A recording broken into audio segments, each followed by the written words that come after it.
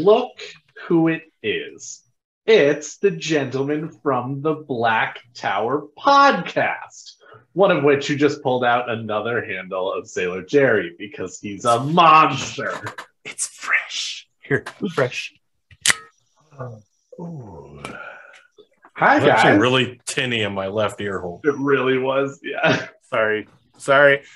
That's Earbud fine. warning Pain was Right. worth the gain. Yeah, yeah. Earbud warning. Well after. after, after the fact. Just edit, we'll fix that in post. Yeah. Oh. Sorry. As someone who's ever edited anything, that phrase is the worst. Oh yeah. that's why it's that's the joke. I know. But hi, guys. We're all Be here for the same reason. What's that reason, you might ask? Hmm. Nothing better to do with my time. Ah, that sounds about yeah, that's it. right. No, we are here to listen to some taint and to put it in our ear holes and maybe our mouth holes, perhaps, depending on how much of you or how many of you have hot sauce still, um, and all of the other orifices that should get tainted. Because this is another episode of the Black Tower Podcast, a real time podcast. I am one of your wonderful hosts, Daniel, your Amin Khan Mahale. I sing the songs and wave the flags. And I am one of your despicable hosts, Josh. Your Soraban Mahale. I call the lightning, and I'm just a general all around jerk of a guy. and I'm one of your. Hey, that guy is kind of all right. Host Andrew, you're by John Mahale. I send the emails and click the buttons. I love that. Also, I I'm like, like. I'm like, I feel like the Pog of the Black Tower. Oh. Because you like getting we all, we all know I'm not. No, not those kind of Pogs, but I Oh, appreciate the different reference. pogs. different pog.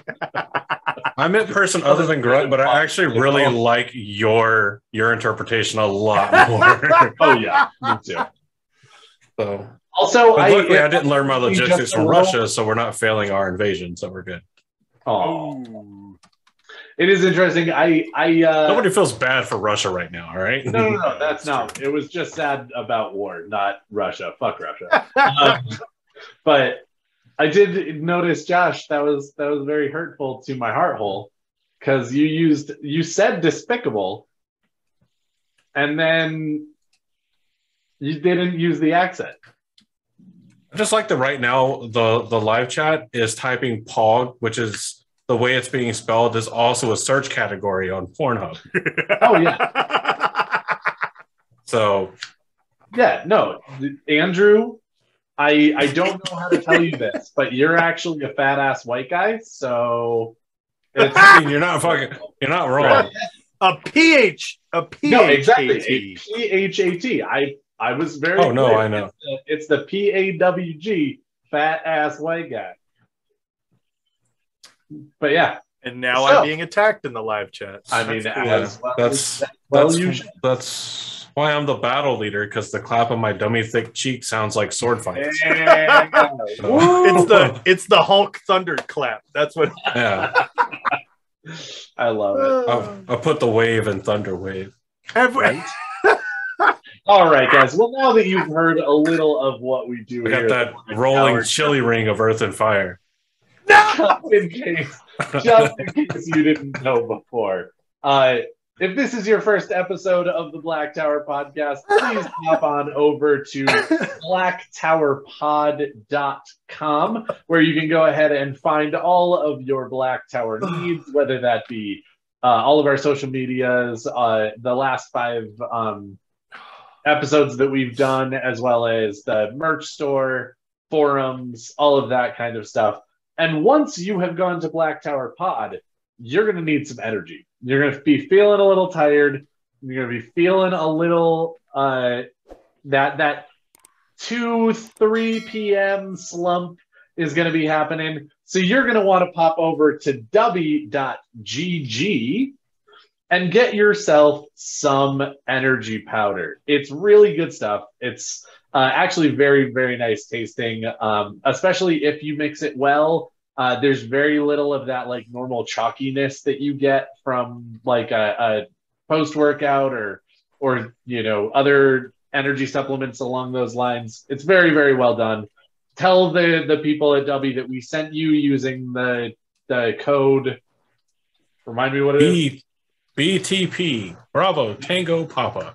There you go. Or you can use the link Tower. in the show notes or description below. also correct. So go ahead and click that link or pop over there after you've gone to the website. It's just BTP, super simple. That's what we like. We want you to be able to do it drunk because that's what we do most things as anyway. So Oh yeah. Also, Also, when you go when to you're the, Black the website, I think you're about to say what I was going to say. Go for it, oh, Josh. Oh, you did I it. did. I did it. I did it. Yeah, you did it. So you say it. I you, did do you it. tell everyone. Oh, okay. Do it. Check out the photo album from WoTCon. We've got our WoTCon photo album, and it's up, and the pictures are great. Hey, hey, you guys are awesome. We put together, I think there's about 60 photos on there. Photos. So if oh, you're chasing the WoTCon high and you just need a, a little bump, a little something to get you through the next until the gathering madness, then I need you to go to blacktowerpod.com, scroll down, and go see the WoTCon photo album. And a bunch of you are probably on there. If you were at WoTCon, you're probably in there. If you're in there and you don't want to be, though, let me know and I'll take you out. Um, Yeah. Or if you got some pictures that you were like, oh my God, Daniel was acting the fool, and I got some pictures that we need to put up on there, send them to me. I'll throw them That's up on there. legit. I Pictures represent. from late Wednesday night and super late Sunday night that have me in them are automatically barred from inclusion. Because I've already seen one picture. I'm like, I don't remember taking that picture at all.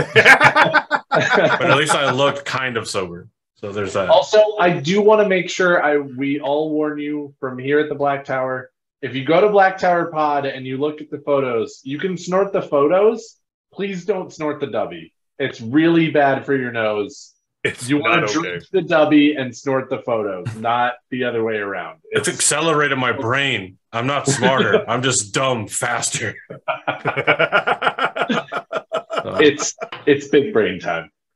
it's big brain time. But Which yeah, is good because the person we're talking about tonight has a pretty big brain. that's accurate.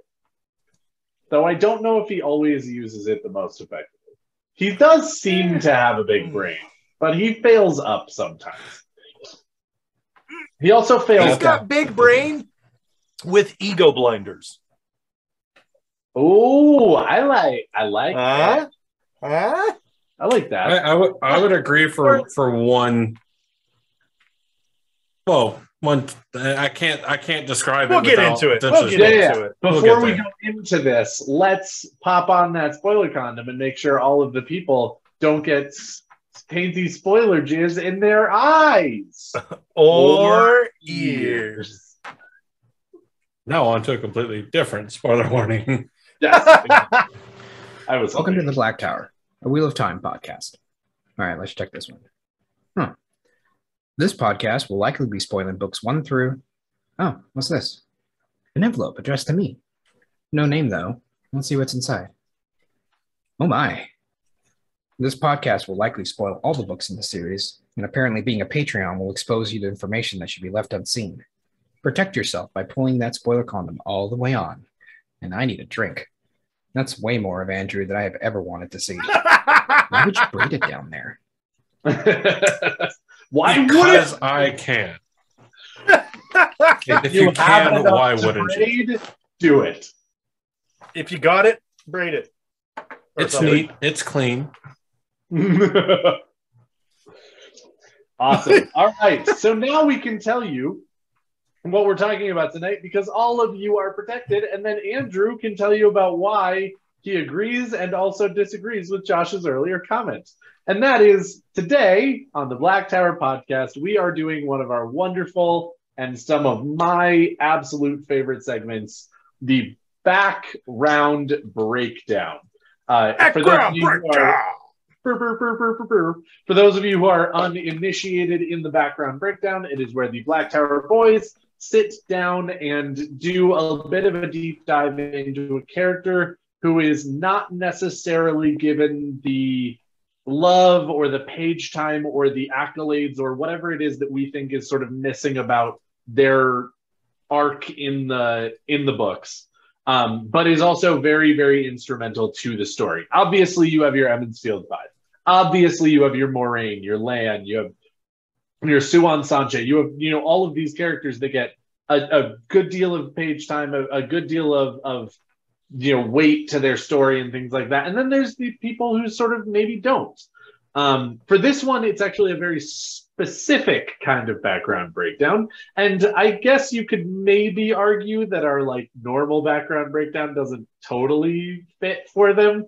because this person does actually get a not insignificant amount of page time and I uh, I would say sometimes solid accolades but sometimes we do the background on just characters that aren't the main quote unquote characters from the books. And Well, this definitely of course, this is one in that line. series where I think that a number of the one, the others that we've done in this series are in that category, and we just figured out that we you know finish out the series and do whatever. So this is going to be a background breakdown for Second Edition, and we are going to talk about the biggest and the baddest of them all today, Mister Nameless himself. Ishamael, also known as Ba'alzamon, also known as Moridin, also known by like 37 other different names that I do not have time to go in. Father of Right. lies. Well, that's technically the dark. Glowy eyeball guy. That's Ba'alzamon. Stop it we're gonna just call him He has we're gonna just call him authority. Elon. Ooh. Well, that actually was his name. Elon Yeah, yeah. Morin Tedronai. Yeah, if I can you. I mean I I can. He takes on a new name after he falls because maybe Elan wasn't such a dick. We we actually don't sent out a tweet uh, about this particular character, um, Oh, and the the the uh, the tweet stated that he's a ten, but he's the ultimate nihilist and wants to bring about the destruction and end of literally everything. Sort of. No, Hmm. that's kind of his goal. No. Sort of. His goal is to die Yeah, and I was not gonna be reborn. he he wants That's to just one avenue that lines up with his Yes, master that will get him what That he was- wants. He doesn't really that- care about time going gonna on or not. He's an. I said he's a nihilist. Yes, he's the ultimate nihilist for himself, and he's fine with nihilism for everyone else as long as it gets him nihilized. Listen, I don't know what you mean, but I don't know what the Nile River has to do with any of this. I mean, let's be completely honest. Ishamael is Is is he also one of the few rivers that flows north? Is that what's going on here? I mean, maybe. Maybe, maybe not. Uh, so yeah, Ishamael is like uh, him just a little bit before he before he becomes a Forsaken. You mentioned his early or his original name already, so let's yeah. go into a little bit of who he is before he becomes a Shamael, Yeah. the, Let's. the Uh, we know.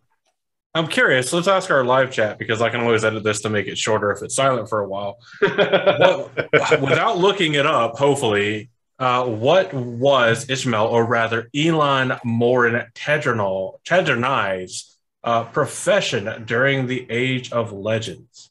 And there's about three answers that you can give. Beep. I know the answer to this. He Badass was is pretty CEO pretty fair. of Tesla. Um, he was. oh wait, hold on, wrong guy. My bad. That's that's that's Moridin in the first age. well, this is the Age of Legends. Oh no, it's the first age. Professional second placer. Oh, So Beth, Oh! Beth, that is that is definitely one answer. yikes. Matt Oh, that was the the. Burn Honestly, Award. The, sad, the saddest part is three of the Forsaken were just professional second placers because Oh yeah. Samael, Ishamael, and Demandred were all like Oh, professional sucks. and Well, Lanfear was also. Yeah. Oh, also true. Well, yeah. Does she? Also by the end, is she technically a professional fourth placer because she comes in after Aviendha, after Elayne, and after Min? Or is that Yes. just their? They're because all by that time place she's and making her moved on to second place. Perrin, and Perrin is No, like, I actually, I And And actually she says, "Choke me, daddy," and he just goes full animal and is like, "Whoops! Well, good thing it's in the dream world, so no one knows." it doesn't count as murder if it's in the dream world. I actually, well, it doesn't count as murder if it's a Forsaken. so It does, but it doesn't. It's so just not murder we're sad about. Yes, Yeah. that's there we Yeah. Go. That, that. It's still Uh, yeah, it's still work. it's still murder. That's true. It's still Um, so let's see. Theologian is another good answer there, and possibly spectacular Josh. So Beth got it first with philosopher, and possibly spectacular Josh got it second with theologian. There, and you also mentioned that he wrote books. There is a profession uh, that does No, it called books. author. Books. Author was the other profession that we would have accepted, He wrote but uh, yeah, badass was a that's I mean a pretty good thing. So he wrote the books Analysis of Perceiving Meaning. Yeah, that's good. Yeah. So he wrote Alright. books such as Analysis of Perceiving Meaning, Reality in the Absence of Meaning, and The Disassembly of Reasoning of Reason. And considering his entire book repertoire sounded like a My Chemical Romance album, somebody probably should have figured out the dude's got some screws loose. But Lews Therin was too busy fiddling his diddle, making a whole family for him to murder later, so he never noticed. oh. Ouch.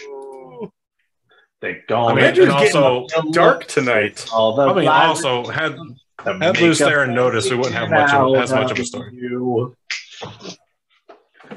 Um, Uh, interesting though his his journey like he really does just kind of get sucked down this like philosophy hole Jesus And- Christ, you are getting progressively louder. Yeah. I don't know what's happening. I don't know what's happening, but it's like your microphone is adapting and it's like adapting the gain to max. my microphone's like this asshole's gonna be loud there you go. okay so it, it's interesting he gets like sucked down this like philosophy hole right Okay. and he starts he starts to like philosophize about the turning of the wheel and and spinning our souls back out i'm wondering and and i don't recall any instance I do not. illustrated. But I'm wondering if there's an instance in the Age of Legends or at some point in time during his journey where he's like, where he gets almost his own sort of flicker, flicker, flicker moment where he sees past lifetimes, future lifetimes, and he just goes, I don't want this. Like, is there something in his story? Is there a moment in his story that we get to see that explains why he's such a nihilist prick? I mean, oh, I, I think yes and also no, because I, I definitely feel like it's strongly hinted at that really he is just one of those people that philosophized too hard. And, well, yeah, and there are got- some people who get like really down that rabbit hole of philosophy and go, there isn't any hope. Why are we doing this? There are other people who go down that same rabbit hole and go, this is the meaning of life. This is why we're doing that. And it's just like the different sort of triggers in your brain that that are getting people with mostly the same information of just like these, you know, philosophy rabbit holes that are just like well, he, he starts off with philosophy. Yeah, he starts off with philosophy about like the nature of time and the nature of the wheel. Yeah. Um, and it it does move over into theology, um, into uh, a set belief uh, system about how the wheel works, and it winds up being like so many uh, revel, so many at the moment revolutionary uh, philosophers and theologians uh, not potentially fully considered out. Now, his is definitely not fully uh, considered yes. because if you're going to uh, acknowledge that time is cyclical and that it goes around forever, uh, then you also ha- would have to acknowledge that everything that can happen will still happen, but has also already happened, and which is his biggest pitfall. Because I I I agree with his thought process up to the point where he ignores the fact that it's already all happened and hasn't happened yet at the same time. Because the whole reason he, you know, announces his betrayal in the Hall of Servants to all the Aes Sedai, including Lucer, is because he sees the Dark One's success as a statistical inevitability. If the Dark One gets an infinite number of chances, statistically, eventually the Dark One will win. But what he fails to realize is that all of these battles that will ever happen have already also already happened, and the Dark One has lost every one of these battles and will then, by extension, lose all of these battles because time is cyclical and the same events repeat themselves. Um, and of course, we know through confirmation from Robert Jordan that though the events may happen slightly differently, the overall outcome of each event is still majorly the same. Um, that the you know there will still be an Apollo mission that's going to happen in the first age. It just may be Yeah. called the Ares mission, you know, to steal Sure. from the Martian, which is a great movie. But In- interesting tidbit here, though, when you're talking about the statistical likelihood of the Dark One eventually being successful, the Dark One only has to win once. Sort of. If he, if the Dark One wins, that's that is statistically Once. right or technically right. then the wheel is destroyed. Time and existence are destroyed. Yes. the creator and the forces of the light have to win against every single attack with zero uh uh With no catastrophic failures. well with with zero variance like they can't they can't lose period end of story they have to win Mhm. every single time I mean, they For- can kind forever. of lose. They just can't really lose. Yeah, I don't know about that. I, I I think we've already had this episode, and maybe we should have stop it again. it daniel we're supposed Well, I mean, to agree on everything So, well, no, the, the facts, the facts of it are right. That is factually how it is. However, can the Dark One win?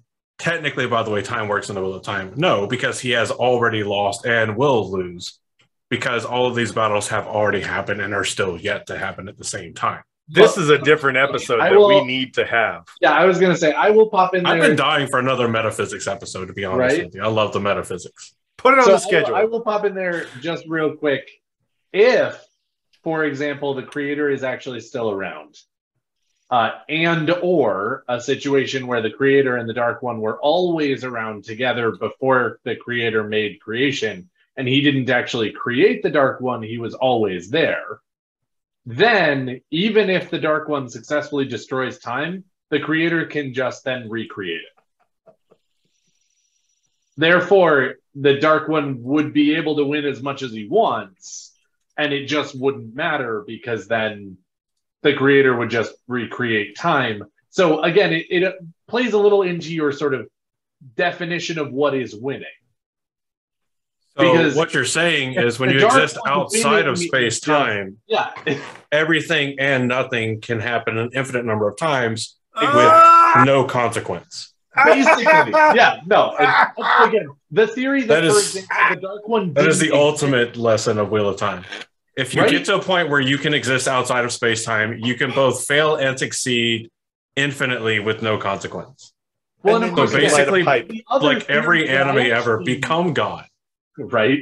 There is the other theory that I kind of like. Uh, I don't necessarily super agree with, but like that there was only the creator and him actually, or them, it, whatever, actually creating creation, created the Dark One and also creation, and then destroyed itself effectively in creation. In that scenario, Josh's statement is completely correct. That Ugh. if the Dark One ever wins, it's ruined. It's done. And so the the forces of the light always have to win because if the creator is gone effectively, then they can't just do it again. And then if the dark one wins, he wins, wins. But hmm. like again, I've never actually fully subscribed to the theory that the creator is gone and that he was destroyed in creation. I actually, you know, think that it's more like there's the dark one, the creator, and then the creator makes creation, and then they sit there and fuck with creation the whole time. but the creator is more hands off. So here's this thought, and I'm only going to say this because if I don't, I know I'm going to forget it, and I feel like it's a really Yeah. good thought. And if existing I outside of yeah, if existing outside of space time means you can win and lose infinitely with zero consequences, Mhm. then it the the, term the, like the scope of winning and losing only exists within the created material world. I So completely agree. in in terms of the human understanding, yes, the dark one only has to win once for their for what they perceive as creation to be destroyed. But for the dark one and the creator, they just reset the pawns on the cosmic chessboard and start playing another game and see how long it takes and who gets checkmate. basically. Well, and again, that even lends itself. So what I'm hearing is Men in Black was right. We're all just galaxies in marbles that aliens are playing with. Correct. Yep, Hundred percent. You heard it here first, folks. Uh, Wheel of Time is actually just a confirmation of uh, MIB, and we're all. That's that's what we're done. Uh, we are actually done with this episode. Um, Yeah. about Shamael, uh, it's now about this, and we've all agreed that. So say we all. so say we all. Well, this is perfect because if, if there was other Well- other than Rand and the creator and the Dark One, if there was a character that truly, like by their core of who they are, warranted a conversation into the ideologically into the ideologies, philosophies, and theologies of the will time and the metaphysics, it is it is Ishamael. hundred percent. Oh, So, but uh, so let's just this- let's give some. Res- go ahead, go ahead, Josh. Well, I was just going to say this actually provides a really great segue into the background breakdown of Ishamael because these are the conversations I, I like to think. These are the conversations he's having. To our knowledge, to our understanding, he does not have the experience or uh, uh, position that Rand has at the end of the books, which is to exist outside of space time, to exist outside the pattern and observe it being, to observe creation. Yep. Um, so he's sitting there going, I don't want this anymore. I, I, some, I have to believe that somewhere, you, you know, you don't just come wake up one morning and go, I don't, this is bullshit. Existence is bullshit, unless you're a Meeseeks.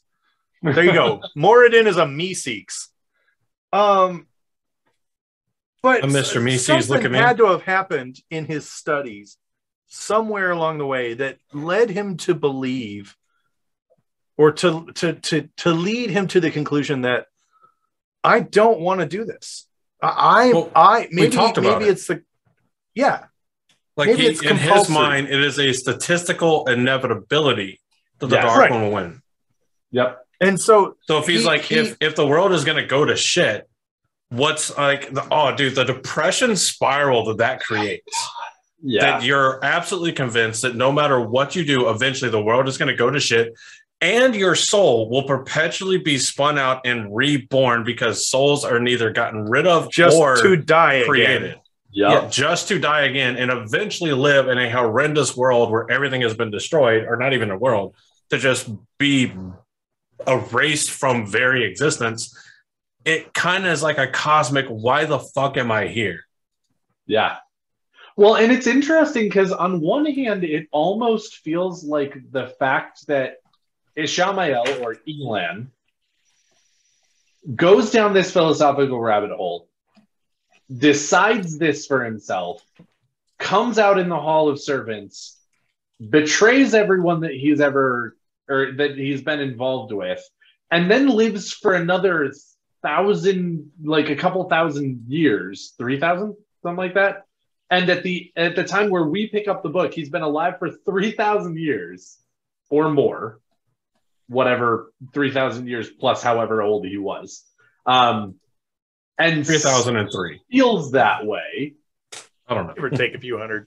right? And and still feels that way about life, the universe, and everything, is kind of a testament to like how how philosophically messed up he was. But on the other side, I do throw in there the he's now been serving the Dark One for 3,000 years.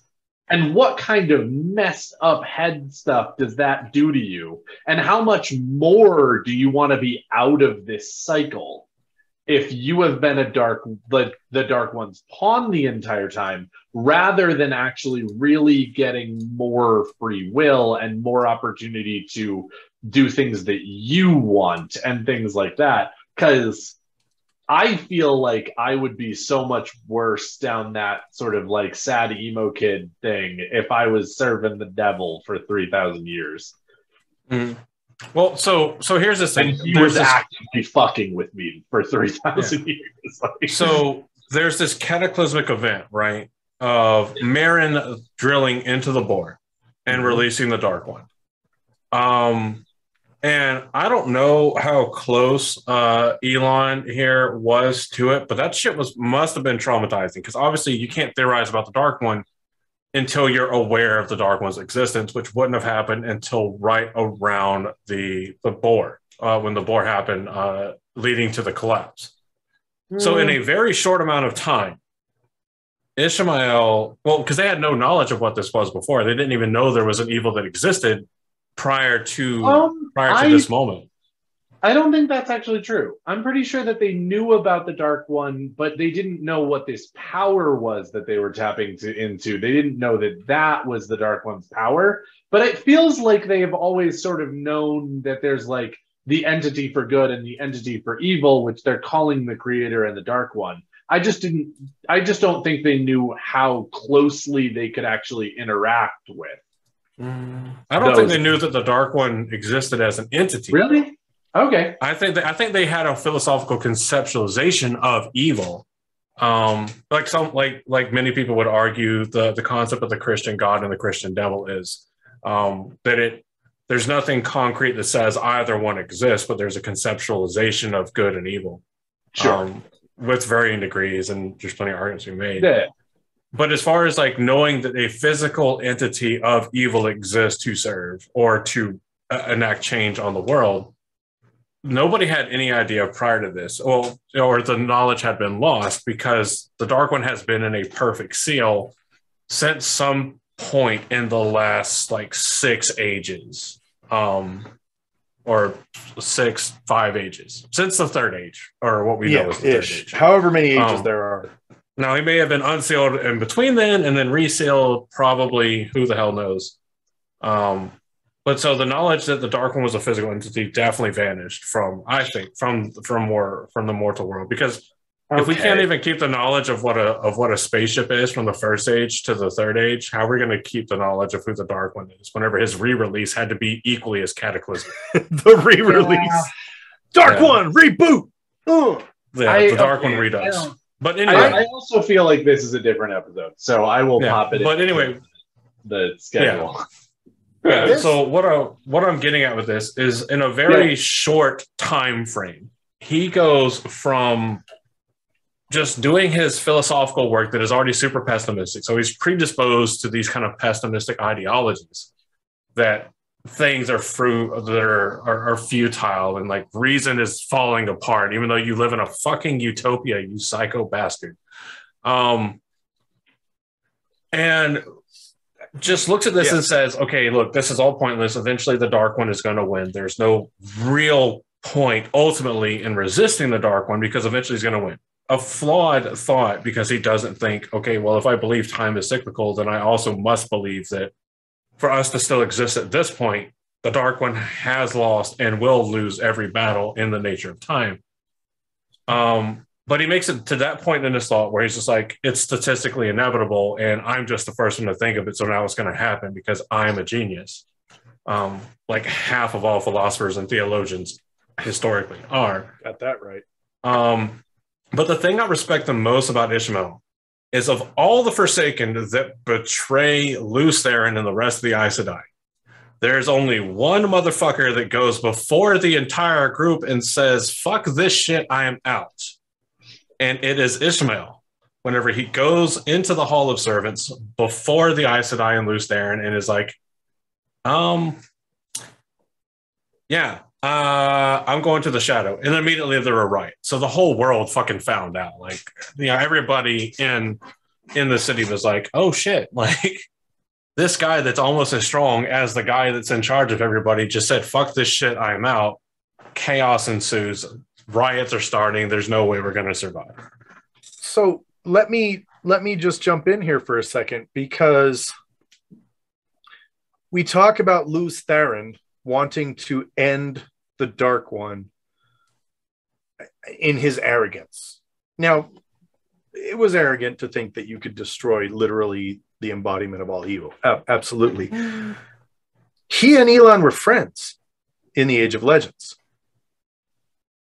Elan forsakes the light. I think it's stupid Well, because you can do it. he forsakes the light. He says, fuck this shit, I'm out. After that, when things start going downhill, that's when Lews Therin gets his idea to attack the Dark One. This gives us insight into what happened there. Lews Therin lost a dear friend, and now he's seeing innocent people suffering. Now, did he make the right decision? Obviously not. But as a person, right? What do we do with our heroes? We we we put them on pedestals. We say, "Oh, they're so amazing," and then you meet your hero, and they're Never meet your a heroes, person- It- yeah, it's a never meet your heroes kind of a scenario.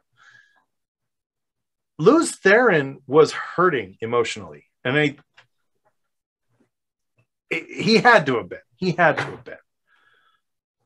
And Because it's, it's not like- just him. it It's- gives he's, he's losing people left and right. Not to mention how many people died at the moment that the bore was breached in the Sharom. Like, yes, there's no telling how many people he lost in that exact moment. And and I feel like you've got a perfect example of two people looking at the same exact situation and coming to the opposite conclusion. Lews Therin is going, "We have to do something about this. This is this is wrong. You you can't do it." And in his anguish, in his turmoil, he he lashed out. He did what he thought he could do to try and protect everybody, which is very Rand esque, I would say. I mean, which gives continuity to the soul here. Like, brilliant, brilliant That's a that's a Um, good band name right there. Continuity to the soul. continuity of the soul. I love it. Um, and then uh, Elan, Elan says straight up, no, no, no, no, no, no. You're looking at this from the wrong side. You must This is going to happen. drive. again and again and again and again and again until we stop fighting it. And we just need to join with the shadow and end this cycle. I also love the arrogance in the ideology. I'm not saying he's wrong, but the arrogance to to have the mental uh, thought that I've figured this out, so I must be tied into this. So I fought the dragon for all of history, and I'm just going to assume that in my past lives I do. Now I think there is there a point that he actually does remember all of his past lives. Or does the Dark One just implant what he wants to be memories of his past lives? I mean, I feel like that's a question we can't really answer because I think he truly believes That's that why what I he's asked That's it. a theory past lives, but it's impossible for the audience to truly know whether it was real or I think by the time we get to the books, he does see his past lives. I think that plays into the Dark One's hands. Knowing the conclusions that he's already come to, the Dark One says, Yeah, boom, there you go. See, exactly. It's just going to keep happening, Bro, buddy. we really have to do an Ishamael inspired metaphysics episode on like Oh, I'm because I already believe the opposite. I believe it's all bullshit. I believe he doesn't remember anything. I believe they're the implants. creator's not benevolent.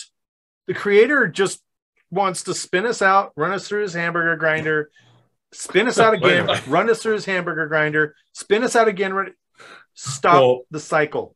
Ig- ignoring the creator's habits with Grinder. Um, uh, so uh, where it seems like uh, well, we have kind of two points where uh, the now well, still technically named uh, Elan, but very soon renamed. Ishamael's story seems to end for the Second Age.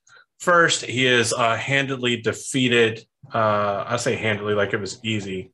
Um, it was a very narrow defeat uh, that he experienced at the gates of Paaran Disen by Lews Therin. Um, and at some point uh, later on is when we get the the sealing of the bore, if you want to call it a seal, because uh, you didn't do it right, Lews Therin. The- fuck. the band-aid of the bore. Yeah, the band-aid of the bore. Um, where it definitely does seem like Blue Theron was like, I'm gonna destroy the dark one. Oh shit, I can't do that. Let's just put up a block. And it was it was like patching a levee in New Orleans after Katrina. It just didn't work out that well. Yeah. Is it still too soon to, to, to make comments No. about Katrina? No, no, no, okay. no. You're, you're- you're good. You're good. Um, and so of course we get the the events of the prologue of Eye of the World, where uh, it looks like even though everybody was sealed, uh, this seems to be the first iteration post sealing, where Ishamael is like, "Cool, I got forty years to do whatever the fuck I want." Um, and the first thing he does is goes and fucks with the now insane Lews Therin uh, heals him just enough so that Lews Therin can see what he's done to his family, thus earning the name Which Kinslayer. Oof. Uh, and then Lews Therin goes off to create Dragonmount, and uh, Ishamael goes off uh, to wait to for him to be reborn. Well, yeah. Well, he ends up going back. So the Forsaken are all called back to Shayol Ghul to the bore. They're in a meeting with the Dark One when the bore is sealed, right? And Well, it's, Ishamael it's not sealed as a- much as it's spackled. is- Yeah. spack sealed, spackled, band-aided. Like it's it's you know it is I just wanted is. to say the word spackled. I'm not going to lie. Spackle. It's spackle's a fun word to say, especially with an accent. You get spackle. Um the the interesting thing here though is that he, for whatever reason, was farther away from the the actual like event horizon, which was the looking Oh, glass into the dark one's idea. domain. Idea. And then he, as a result, is able to touch the world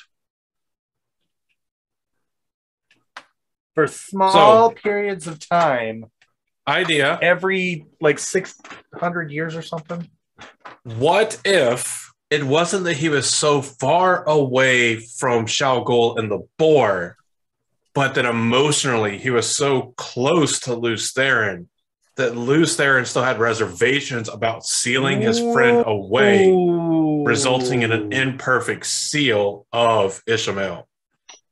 Ooh. I, Because we know channeling is so deeply affected by your mental state and emotions.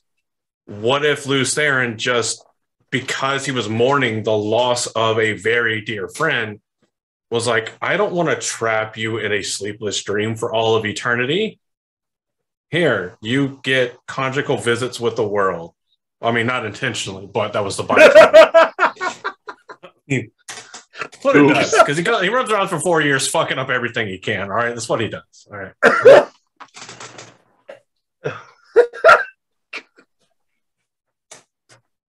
but yeah, yeah, no, I I really like that theory. Actually, that's that's brilliant. I love That it. is- I love it. I it. like. I like it, not just because I thought of it, but also because I Yeah. thought of it. No, No, just I'm sure a hundred other people have too. yeah, but um, The thing is, is that Ishamael, as a result of this, though, can touch the world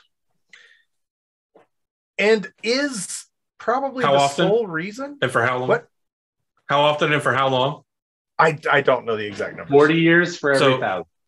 Yes, every thousand years he can touch the world for forty years. So he Roughly. it's it's Yeah, R- yeah, I- approximately. And, appar- and apparently I he can touch Adalorna. actually, I'm actually pretty sure that well, it's, Adalorna's given him years- permission anyway. I, I'm pretty sure it's 39 years for every 961 years he's in prison. Uh, Um, I will. Watch me. Swedish Amael. Bum, bum, bum. You are touching me so good, so good, so good. Ishamael, touching the hands, reaching out, touching the world. So 40. So we first learned of this uh, concept from Iran, son of Milan, son of Sonar, uh, which, if it wasn't already obvious by the name, that's an Ogier, Oh dear. um, who was born roughly 50 AB, which is after bore, I believe. Or a dwarf, probably depending on what series you're in. What the fuck is AB? I don't remember what AB is. After battle, after bore, one of those things. After bitches. Um, but had the the it was one of the first ones, or the, that we know of, that has uh, after breaking. Beth is right. After it's after breaking. Um, that uh, he had heard claims that people encountered Ishamael as long as 40 years after the sealing of the bore. Um, and using lost manuscripts, Iran concluded it might have taken time for Ishamael to be brought into the prison with the remainder forsaken, and he might have been thrown out in regular cycles. Ample evidence exists, such as interviews with her dark friends saying that as early as 983 in E, which is New Era, uh, they were receiving instructions from someone calling himself Ba'alzamon. So that's where we kind of get that it lasts roughly a thousand years, or every thousand. Well, it's, it's technically like uh, Daniel kind of joked about. It's not every actual thousand years. If Yeah. you're out for 40 years, it's every 960 years, roughly. Yeah. Um, which, if you're looking at 983 in E compared with 40 years after the breaking, um, it, it lines up. This will be about the time Ishamael is like being born from the asshole of a rhino, like Ace Ventura, which is He is exactly how I imagine him being thrown out. Yep. These rhinos are really hot. Um, so the interesting thing here is that you know a lot of people are willing to just say, you know, oh, he was sealed on the board, he came out every little once in a while, and that was it. I disagree. I think he is single-handedly responsible for rebuilding, or at least deteriorating the integrity of the organizations that have been founded uh, to rise up against the shadow as people know that one day they will have to. Um, oh, yeah. I think Andrew and I are with you on that one. That he spends his 40 years specifically walking around being like, fucking that up, fucking that up. yeah, Definitely Well, fucking He's like- that up. Oh, I'm Absolutely. free. Everybody's getting along. How do the Trolloc Wars sound? Let's do that. Right? he he gives he lay he's he's a very extremely intelligent person like which is another reason i love these book series so much you don't have uh villains who are just dumb you know what i'm saying like villains who are just like i hate everything and i want to kill everything yes he he he doesn't really hate everything his motives aren't hate his motives are i've been given a promise and i'm going to do whatever I can to make sure I hold up to my end of the bargain so that I can receive the reward that was promised to me. That story is so familiar. We've made that story, uh, we've made that statement about Gawain, we've made that story about Rand. People live up to the reward that's promised them. And in this Ishamael thought that his case, savior in life was the Dragon Reborn. It was actually a Black and Decker brand toaster in one of Elayne's baths. Sorry, I, I, Dark. Very have my, my brain right is now. like half all over the place with like really shitty jokes, and I just I can't stop Woo! myself. Okay, don't stop me now. Um, So the thing, the thing being with with the Ishamael having Kind of sounds like you're world, talking about self fulfilling prophecy almost. I mean, yeah, obviously, yeah, it's, it's it can be an external promise, but well, it's it's it's something that it's it's it's the carrot at the end of a string, right? It- I am it- the it's a Minecraft carrot pig. so to to get the donkey to go. You know, it's it's something that you want so badly that you're willing to forsake logic, Ah. ration, reason. You're willing to do whatever it takes because you want that thing so badly. Nothing else matters. And that's why I said he's got he's an extremely intelligent person, but he's got ego blinders. He's Well, so wrapped up in what he needs. Well, and this is one of the things that I absolutely love about this particular story and any other well written story with a good villain. Because again, we have so many different uh, opportunities for this, in, or not opportunities, uh, examples of this in real life as well, where there are people who run around their whole lives absolutely thinking that they are the good guy in their story and some of them are not. The But the also- best villains think that they're doing good. Well, and I was also going to say, but also there's this other piece of it that is the victors write the history books. So, how many people are actually good people if they win the war, but are villainized because they lost? Yes. There are a shit ton of people out there who are Well, actually obviously, if you're good, you don't lose. I mean, that's Uh, humans' fantastical idea of morality. yeah, I mean, It definitely wasn't created by, oh, I don't know, every kingdom since ancient Mesopotamia to make you buy into the propaganda of who's good and who's Yep. bad. no, exactly, Andrew. You Totally. haven't different. realized by now that all of humanity is equally shitty. Uh, sorry to break And- the news to you. And, And equally, equally good. good. That's, Yes, that's a fair Yeah, point. yeah.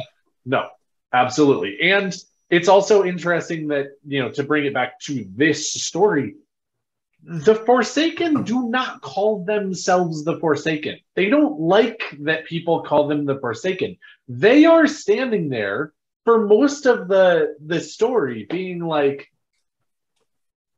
for better or for worse and for this reason or for that reason we have joined this side of this fight and we find ourselves to be the chosen ones, which is why we're here and we're doing what we're doing. And so, again, it just lends even more credence into the fact that they don't necessarily. I mean, like, I, I guess sometimes they do when they even kind of admit that on occasion they're like, yeah, we know what we're doing is actually not good, but we're doing it anyway. But for the most part, I really feel like a number of the Forsaken, and especially someone like Ishamael, is standing there being like, this is the right thing to do. I don't need to have uh, to always do it in the right way. My ends will justify my means, and I will be the hero of this story because I will be the one who helps destroy the wheel. And even though people don't realize it, they want the wheel destroyed just as much as I do, and I'm going to help make that happen. So I like I like this uh, question in the live chat because we're we're not going to get through a, a chronology of of Oh, Ishamael and what he does.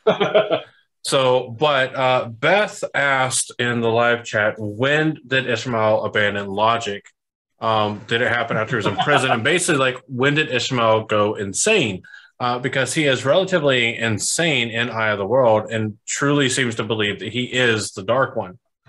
Uh, and we've had a couple theories proposed. Obviously, one of the easiest theories is is he really insane or is he just playing the character really well? Because yeah. he's played a couple different characters over the last 3,000 years. Or uh, the idea that I kind of like uh, now, and I'm not going to lie, I, I did propose, and I'm sure others have before. what keeps the male Forsaken from going insane channeling saidin is the fact that the Dark One exists to act as a strainer, a filter for them for saidin. But if the Dark One is sealed away, and you're touching the world for 40 years, are you shielded from the taint just because you have an affiliation, even though the individual Yes. is not able to touch the material world and filter it for you? See, I think the opposite. I would I say think for the 3,000 years, the Dark One couldn't filter it for Ishamael, and that's what led to Ishamael's partial madness. Because do you think the Dark One would really filter out the taint to allow one of his minions to masquerade as him? So I, I would think the Dark One is so egotistical. He's like, no, nobody's going to claim my name. Because even Shaidar Haran doesn't get that luxury. Well, but again, I mean, look at it. Look at what happens when he does actually die in Falme.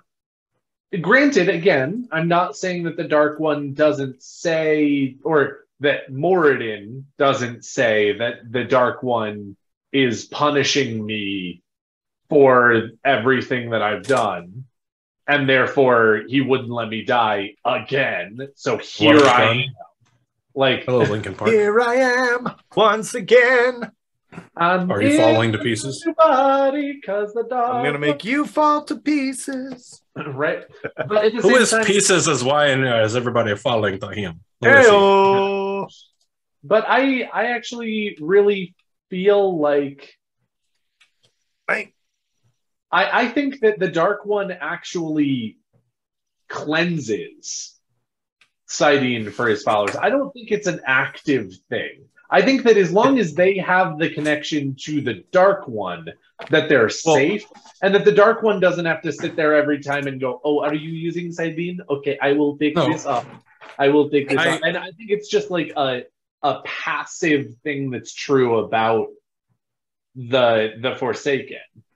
I agree with you. However, my question then is when he's sealed, for the time that the seal is fully effective. Now, obviously, it's an imperfect seal that does deteriorate over time, but there is a time where the Dark One cannot really touch the world. Is it so imperfect that it still allows him to play that function for the singular individual that is Ishamael, which is a completely fair statement to say yes to, I think? Or is he only there, only able to be there in an ideological sense?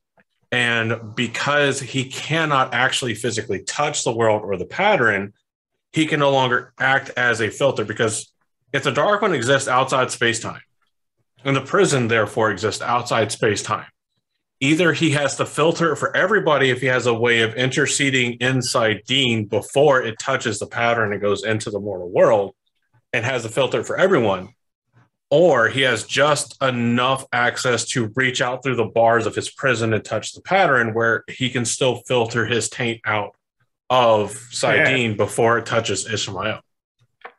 So here, So is that what we're thing. saying? So- that he can touch the world just enough to filter it out for Ishamael? when you're otherwise have to talking filter it out about, before it entered the mortal world, before it entered actual creation. I I think this goes into kind of what we were discussing with the in, in the pre-show, right? So for those of you not listening live, for those of you not patrons, we do a pre-show um, where we sometimes we have a series called What Candy, where we discuss a couple things, um, and you're getting a little bit of a preview into that because we talked about Warder bonds. What if and, and we know we know through other events in the book that turning yourself over to the shadow has varying degrees. There are some people who are just like yo i'm a dark friend. And there are others who make the trip to Shayol Ghul and have you know a, a physical change manifested upon them. Now is that performed by a forsaken? Is it performed? I, we don't know that irrelevant for this particular maybe that's another episode. Varying degrees of dark friendery. Um in this particular case when it comes to a male channeler post tainted saidin i feel like you can have a Warder bond type relationship. I mean we are talking about the dark one who has perfect knowledge of the one power and how it works. Um, at least a much deeper understanding than anybody on the mortal plane does. Yes, hundred percent. Yeah, I'm I'm there. who's to say he doesn't have a way or it doesn't have a way to you know serve as a conduit so that also brings up the concept of when male forsaken or male chosen are channeling are they channeling through the dark one or through a process that's been established which would allow them to not be affected by the taint now we are to assume that this is the case because Asmodean basically says you turn yourself over to the dark one, you can channel, no taint, it's cool. It's not until he's cut off from the dark one that he now has to now that he's affected by the taint on Saidin. Correct. So for Moridin, or for Ishamael or Ba'alzamon or whatever, Is it the Dark calling himself, Oaths? It Is might it? be. It might be because that is It might be the are- Dark Oaths acting as a filter. Yeah, that actually would be a really good way to sort of do it. Um, because that again, w- we know from the oath rod, for example, that you can actually magically do oaths that then tether you to some other thing until those oaths are broken or removed or whatever. Um, and so I think that is actually a, a really good um, that that sort of like the dark oaths and everything is that connection to the dark one and it is protecting them from saidin rather than again the dark one needing to be active in it at all or that uh that again enough of that goes through that imperfect seal Yeah. that Ishamael is not screwed the whole time that he's using it while the dark one's away Which I- was the crux of my question. Like, I, I don't dispute how the Dark One does it, uh, although we don't really exactly know how, but that the Dark One does it.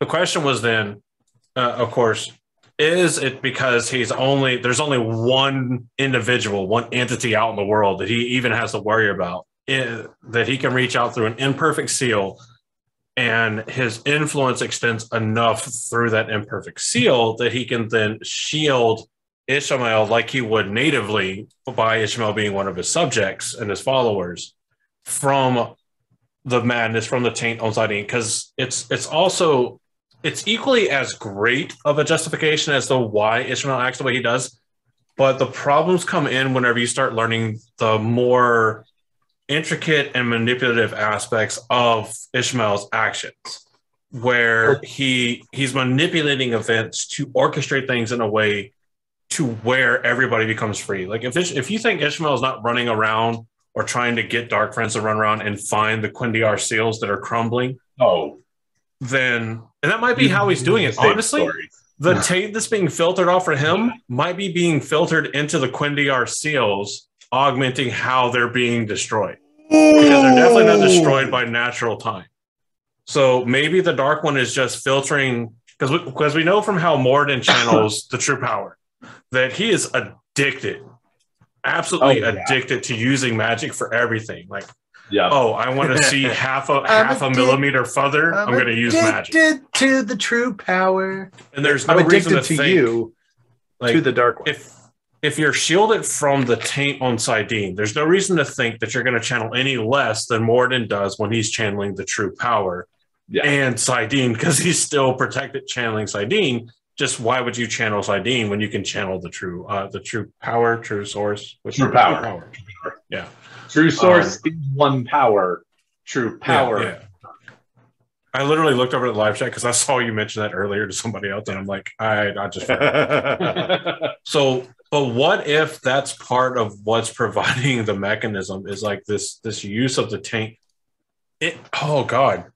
What if I really all the love taint that. and the madness that everybody is going through is slowly being siphoned off by the little bit of the dark one that can touch the world to degrade his own prison? And that's why he did this as a counterstroke. It's not an effort to just say, fuck you for doing this to me. It's a fuck you for doing this to me, but also here's a way for me to break out of what you've done to me. And so he's Oh. slowly siphoning the madness and the taint from every, all the males that channel to degrade cuendillar until Morshadi posts something that probably makes No, no, no, no. It actually, it, it's totally with your point. Later hints Ooh. that, or later hints suggest that it's the true so our power fact causing checker has break. just dropped Again, an it's not interesting Robert point. Jordan who just said outright that you're correct, but at the end of the thing, the footnote suggests that that is true. That Robert Jordan has hinted either himself or in the books that it's actually the true power that is degrading the seals. And, and of course we knew is that just all a along. layer That's of why we true were, we were power just on leading you saidin? To it. We just knew that. That's that's how. Yeah, what if the taint is just I a layer of true power that. on saidin that has like it's like it's like Yes. um it's like a, a network attack. And We're gonna allow yes. you through all ports, but I'm gonna capture all packets as you access each port, I and then love that. all that access gets filtered. Oh, okay, Yes. I- I- no. I- I if like you it. don't have permission from the Dark One himself to touch the Dark One's essence, you go insane. You're you're not allowed. You have just walked into a room where you are not wanted. that would also explain why he's able to selectively grant people immunity from the taint Yes! if it's just a layer of the true power. Yes. We've all right, we've unraveled the taint. We cracked the a new- code. That's a new YouTube channel. The uh, Dark that's going to come out. Is the taint. It's just a layer of the true power, which is just power from the dark one, which is just Yes. his already filtered version of the one power. It's like So the one power, but through me, because I have so that much would power, mean that making would him mean that the sawest of sa'angreals. So that would mean that all male channelers who turn themselves over to the shadow would then have permission to use the true power. But don't think they'd be granted have- permission to not. They don't. They'd be they'd be They don't- they exempted don't know from the that they do, though. damages Yeah. of the true power. yes. Which Well, has then- been described as more addictive and more wild and uncontrollable. actually that's that's another part of this theory that i actually kind of like like here which is what if it's actually the the dark one that touching the true power is touching the dark one. And then the dark one gets to decide what happens to you to a certain extent. But again it turns out as madness because he just can't like he can't actively just like choose what happens to you because he doesn't have that much control over the world. But like every time he touches you he just like gets you more and more crazy. Every time every time he's you give him access to your body and your mind every time that you go through that true power Yes. and he just touches you just a little bit more with his good hand with his strong hand With with his strong So hand. his With his, strong with hand, his strong then- So for everyone that heard our intro to And this some episode, people are more susceptible to that touch than others which is why some people go crazy faster So, for everyone that heard our intro to this episode, this is no longer officially a background breakdown on Ishamael. It is Yeah. Wheel of Time Metaphysics, sponsored by Ishamael. Um, Yeah. Because I, I like what again I- our our fact check my help stop posted here. episode, but yeah So this is yeah, this is uh, quotes of an interview with Brandon Sanderson, and I'm going to kind of paraphrase because it was the original question was about the domination band. Was it made of cuendillar? Uh, the original was yes, the copy was not. Uh, or let's see, the original one was, but the one would assume the copies. No, what? That one was destroyed. The one that was destroyed was a copy, but one would assume that the copies are made of cuendillar too. Um, True Power works by destroying the pattern. Everything that is done with it involves damage to the pattern, making Yes. the Flame of Tar Valon weave even more important. Huh right more Yes. important because of Moridin. Um, Hey-oh. for example, when we see Ishamael travel, go he does so by poking a hole. Yeah, he pokes a hole in the pattern, just like the butthole of a rhino uh, in Ace Ventura. Wait, I've already made that joke. I shouldn't make it again. Um, nope, we're making it again. so cuendillar can be destroyed by buttholes. using the true power. There's another way to destroy the panel. Footnote uh, from where Brandon said in another interview that the second way cuendillar can be destroyed is by the unraveling of the pattern. I don't see that as the second way. That's the same way. It's just a, a different mechanism. Like you either directly just unravel the pattern or you use the true power, which already works by damaging or unraveling the pattern. Sure So Um, so let's let's let's gear this in for a second. Because the original piece of their dick game so strong you can poke holes straight in the pattern. Heyo. to quote Tenacious D, use the cock. Okay, no, uh, to bring this back to sort of an Ishamael centric conversation, how did he go insane? We've already established that he's got access to the Dark One's essence, the true power. The taint and the true power are essentially the same thing. How I don't see do it? How did Ishamael he go having access, having unfettered access to the true power. I see him having an exception in the firewall that is the true power, aka Yes. the taint on saidin. even more so even So- more so that would mean that he's not affected by the taint that means his So- insanity What if it's just a natural byproduct?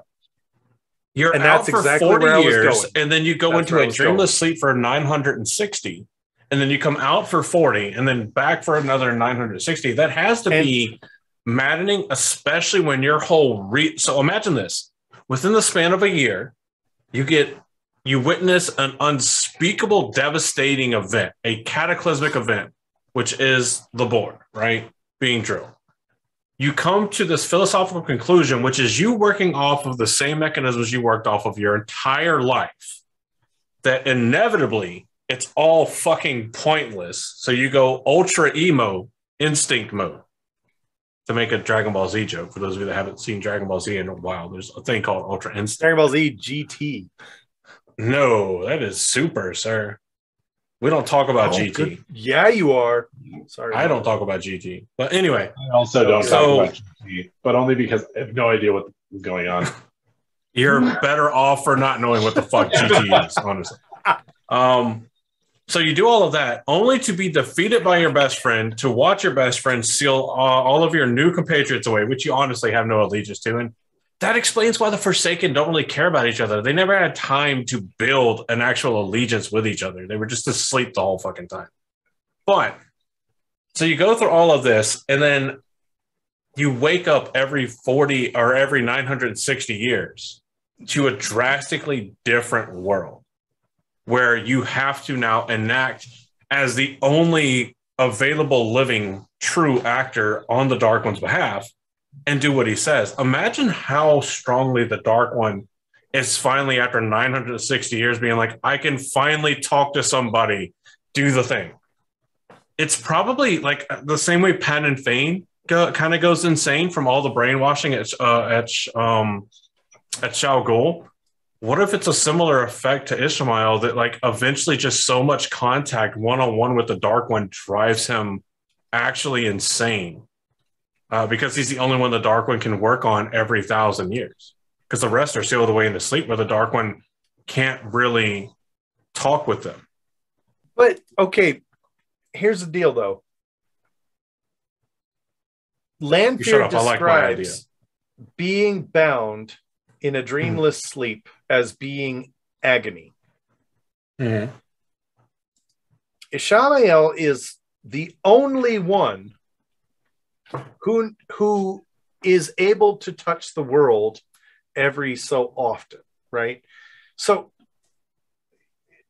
it's it's the difference of being sealed away from something and never being able to touch it and being sealed away from something and getting just a taste every so often which i would argue is worse Yeah. now Well, the other part gets- is imagine being forced to sit in the corner and stare at the wall.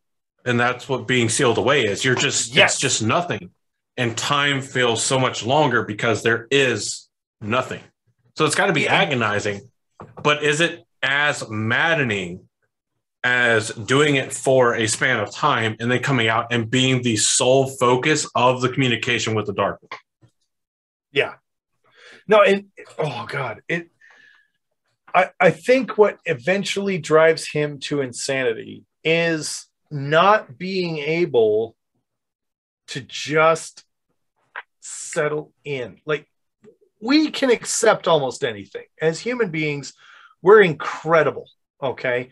We can accept just about anything. We can come If we do to- say so ourselves. I mean, you know, we, we can we opinion. can tolerate, deal with, survive.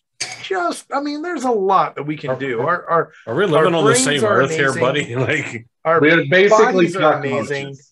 for the past like 30 years, I don't know how much of that I've seen, but I also don't live in a country that But- actually is like third world. So the thing the thing that that that gets me here with Ishamael is not that he's insane by the time Eye of the World happens. Actually, it's more how in control he is. I I would I would posit that the state of affairs that he's in in the eye of the world when he's tormenting Rand, Mat, and Perrin is a necessary chain of events, small decisions that he's made over the course of the last 3,000 years that seem wildly unhinged with where he was at the beginning. But as he progresses and as he has conscious thought over 3,000 years, a vast majority of that being imprisoned, I feel like it's kind of fair for him to be like, wait a minute. Am I the Dark One? Am I not the Dark One? It doesn't really matter. If I say I'm the Dark One, I'm cool with it. And then a hundred years later, you know what? I I might actually be the Dark One. Like turns out he's just like he's only using the appearance, like we saw on the show, to troll the shit out of uh Aginor and Balthamel. You're like, Who huh, were- I look like you were the now. next two that were sealed. no, but think about the timeline of 3,000 years.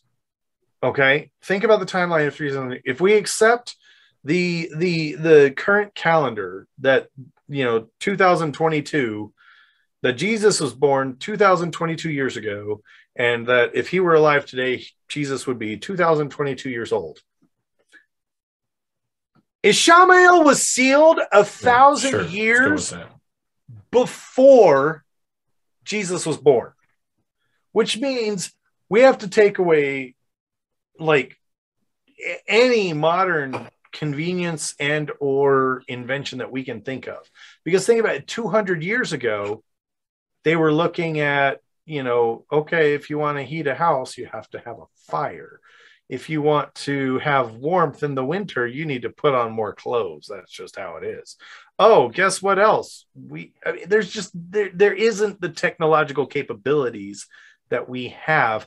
Even 20 years ago even 50 years ago even 100 years ago. You go back a thousand years and you're looking at you know they still have cattle in the military they still have like livestock as military assets. You go back 50 years before that and it's it's it's amazing as technology we're about to start has- up my battle cow. it's amazing how technology expands. And where we're at where we're sitting you know you've got you know 20 years ago this thing didn't exist. This this phone this cell phone didn't exist 20 years ago. Um touchscreen wasn't a thing 20 years ago. It it's it's it's amazing to think and you you look at someone who's been stuck for 3000 years watching essentially existence go by them. And then they go oh i've got a thing that i can jump out and i can i can influence this and i can i can set the foundation for the dark lord's return and oh shit now i have to go back. There's so much more i needed to do. Next time i'm going to tell them i'm the dark one so that i can get more done. I feel like his insanity is a result of a thousand years of scheming plotting paranoia and trying to get that carrot. He was chasing that carrot and that and that's where his insanity comes from because when you got those blinders on when you get that tunnel vision and you can't see you can't have perspective on a scenario you don't understand the sacrifices you're making chasing that reward. And that a hundred times out of a hundred will lead to a very unhealthy mental state. Those are my final words on this particular episode um, so guys be sure to And he never did only lose also have like three perspective. chances. Basically. never Yeah. lose perspective no matter how bad you want something make sure what you're sacrificing is is actually worth it Yes. don't don't give up who you are in the pursuit of something you think might be worth it. Simba. There's remember. there's there's a lot there's a lot there, and often making poor decisions. As the decisions. star spells sex. often making poor decisions in these situations only leads to negativity and not growth. So that's it. I like That's that. it. I I don't have any more final thoughts because I like Josh's, and I'm going to just hard agree. Um, please be safe out there. Please be safe with your mental and your physical, and your emotional, and your philosophical, and your theological. All of the O's. Just be safe with those. Andrew, what do you think? Uh, I mean, no. I, I, how can I say I don't agree with that? Like, I'm not going to tell you to be safe with your stuff. I'm going to say be what you want to be uh, within reason. Uh, and if it doesn't bother anybody else, then do it. And if it doesn't bother you what somebody else is doing, like when I say bothered, it has no bearing on your life. Leave them the fuck alone. Leave them alone. If it doesn't affect your life, leave them the fuck alone. Shut the fuck up. Focus on your life because there's definitely something that all of us can make better in our own lives. Uh, so if it has no effect on you, uh, then uh, pretend it doesn't fucking exist, I guess. I mean, which Sure. is counter to the argument of morality, but who are you to impose your morality on anybody else? There you So- go. And this is why we come I- to the Black Tower. Which Right. is a good you. lesson from Ishamael because he's trying to impose his morality on people. Right. Right? that's- Yeah, don't do that. This has been another So- lesson in what is a slippery slope in logic and ethics from Yes. the Black Tower It's also a slippery slope in the Black Tower choosing a topic where we're like, we're going to talk about Ishamael and break down the character. Just kidding. It's a metaphysics discussion part Okay, one because we didn't get that we- far into it. kind Yeah, of with Ishamael. did break him down as a character, though. I don't know. That's true, but also not. But anyway, I mean, we are Maybe in light of his job, but right, yeah, we're gonna No, go ahead and talk more is. about all of this. We've already got some gears turning and and topics put into our our schedule for the rest of the year. So thank you for being part of that. Thank you for listening to us tonight, where we spitballed a lot of stuff, where we decided some things for ourselves as well as the Black Tower, where we hope that you got a little bit of stuff out of it. Where if you didn't, we hope that you get something out of it next week, whatever the case may be. We are happy to have a place where we can go ahead and talk like this as friends and as ridiculously philosophical people. And we hope that you enjoy going ahead and listening to that as well. For all of us here at the Black Tower podcast, I have been your Amin Khan Mahale Daniel. And I have been your Sorovan Mahale Josh. And as always, we hope that you have appreciated tonight. We hope that uh, you've enjoyed your dose of taint. We hope that you leave here just, just a little bit more mad than you were when you first arrived. Growth. It's about growth. It's about growth. I have been your boss on Hill, Andrew, who had just enough tainty beverage to have two or three what I felt like were really awesome ideas, um, which is a, a rare event uh, in my own mental space. I make a lot of good jokes, but the times that I have like really good ideas where I see both of you go like, "Oh, like that's kind of a cool idea," whether it's wrong or right. I just like the fact that the idea was cool. Um, but chase your dreams, chase your ideas, and have just enough taint, whatever that taint is in your life, uh, to have really awesome ideas. Agreed. I like that. Stay frosty, San Diego. We thank you very much for going ahead and being with us today, uh, this evening, or this morning, or whatever it is for you. And in case we don't see you again, good afternoon, good evening, and good night.